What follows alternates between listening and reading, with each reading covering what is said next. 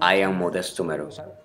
I am one of the Toquilla straw artists. I started weaving hats at the age of 14. My grandfather, who was a great artist, Ermelindo Pachay, taught my brother Giovanni, and Giovanni Mero taught me. I used to wake up in the morning to iron the hats. And remember one day Giovanni left me alone and I had to iron a hat, a very fine hat. The hat was so small, but I put it on a bigger mold. Thinking I was doing right, I put the hat on a bigger mold.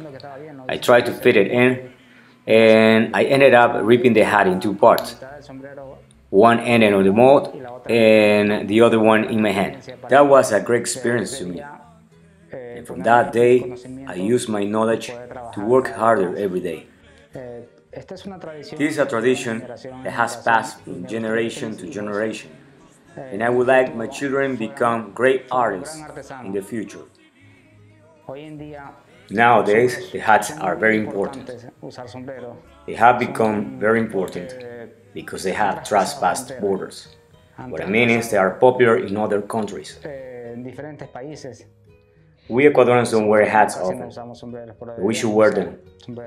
I mean, the Toquilla straw hats.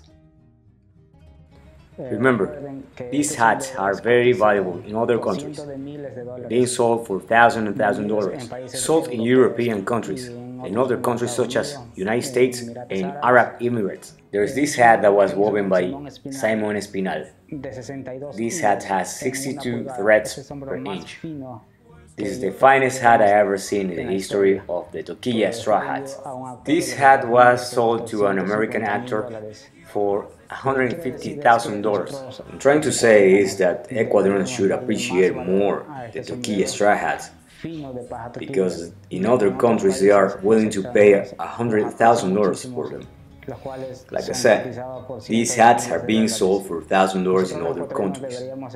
Therefore, we should feel proud about having this jewel, this masterpiece, so valuable that we Ecuadorians have.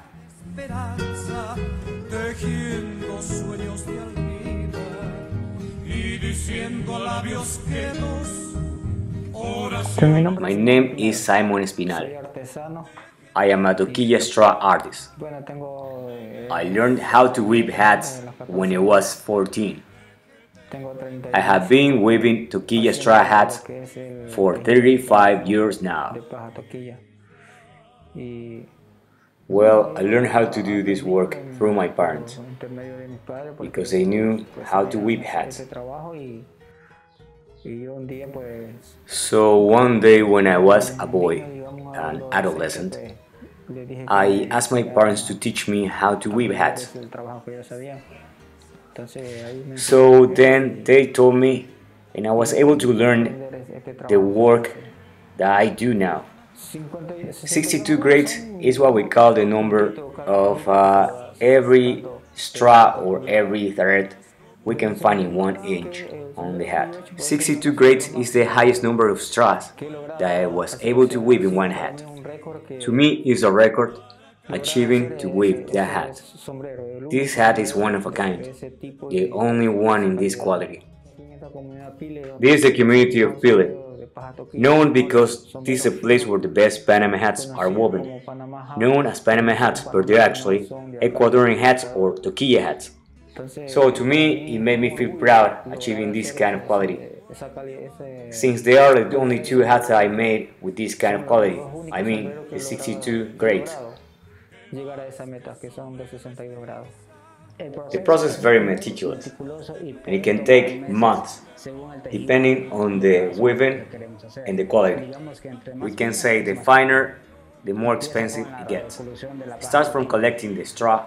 I'm going to explain a little bit the process of how making a toquilla hat is. First we go to the forest mountains, where toquilla straw grows. This is a palm tree we know as toquilla. We proceed to cut just the cogollos, which are the leaves before the spread. Then we take the straw home and remove all the green parts. After, we boil in a big pot and erase all the green that is left. Once the boiling process is finished, we remove the straw from the pot and we proceed to dry the straw by hanging it on a line, always trying to keep the process as natural as possible. To begin with the hat, we start by using 8 threads, then we add 8 more, so a total of 16. And as uh, we progress with the hat, we start adding more and more. And as it grows, we carefully incorporate more threads. The process of weaving can take days, weeks, or even months. Then we work on the edge of the brim, uh, I mean this border over here. This particular process can take one hour or two, depending on the hat. Even one day or two if we're talking about the extra fino hat. Then we tied up the threads on the hat. Once it's tied up, we wash it to remove any dirt. Once the hat is clean, we proceed to iron the hat, making sure there are no imperfections on it. Then we uncrown the hat by cutting all the threads that are sticking out in the inside and also the outside. Once again, we iron the hat to get it ready for softening.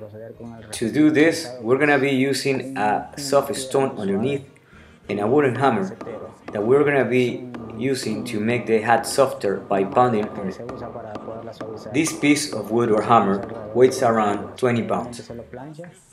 Then the hat will be ready to be given any design or model we want. The most popular ones are the classic and the fedora. Then we put a mold in. The hat goes to the press and using a pressure of 400 pounds, we keep it there for 2 minutes. We have to do this meticulously in order to obtain a perfect finishing. Then we glue and saw the accessories, the internal band and the external band, depending on the client's preferences. A recommendation I would like to give to the audience is that when you buy a hat, make sure that this one comes with the tags and brand names of the store or company that you are buying it from. This way, we make sure we're buying a high quality and high standard hat. In our case, our brand name is Modesto Hat. Therefore, all our hats come in the inside with the brand name and tags of Modesto Hats store. We do this in order to warranty our customers they are buying a high quality product. This will be the best way of buying a hat by making sure the brand name is in the inside. mis besos a tu toquilla.